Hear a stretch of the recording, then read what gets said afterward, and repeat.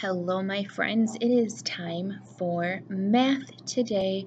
We are going to work on thinking about subtraction and how it might relate to addition, which is kind of a hard thing to do because it's making you think a little bit backwards.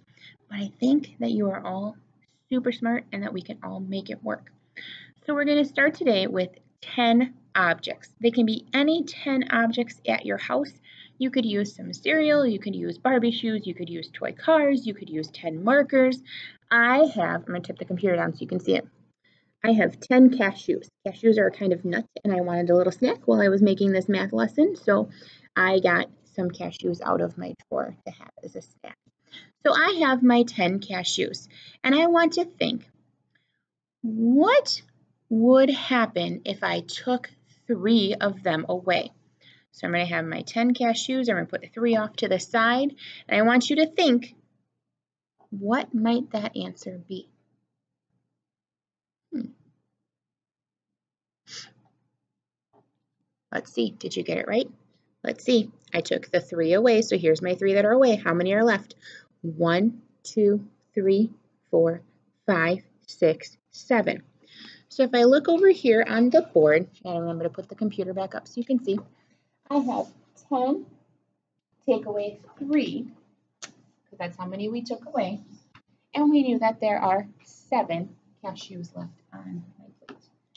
I'm going to erase this because I don't think we need to cross off right now, because we've got this.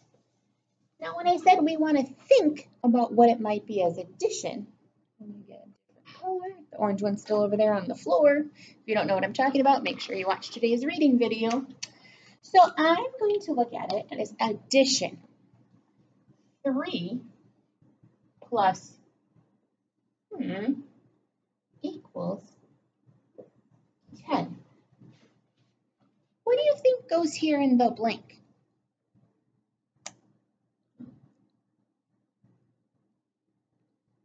That's right.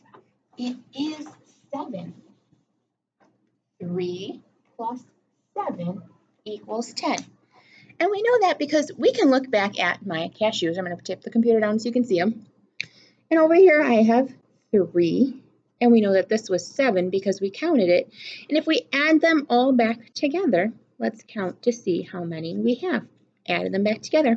1, 2, 3, 4, 5, 6, 7, 8, 9, 10.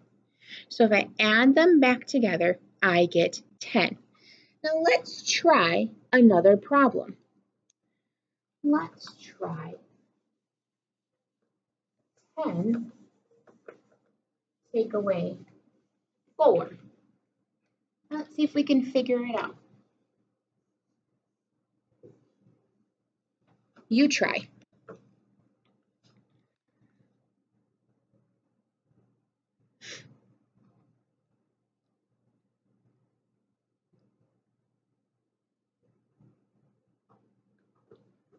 Okay, let's see if your ears matches mine. I have 10. I'm going to take 4 away. I'm just going to slide them off to the side. Let's see how many I have left.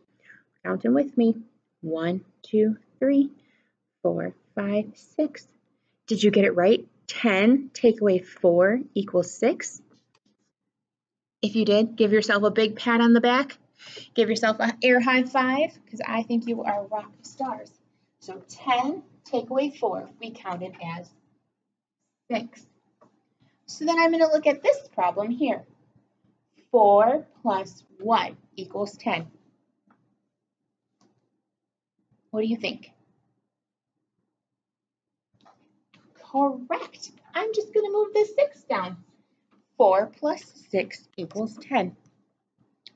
So today, I want you to keep trying making that addition and subtraction connection. And if it's really difficult, that means we just need a little bit more practice.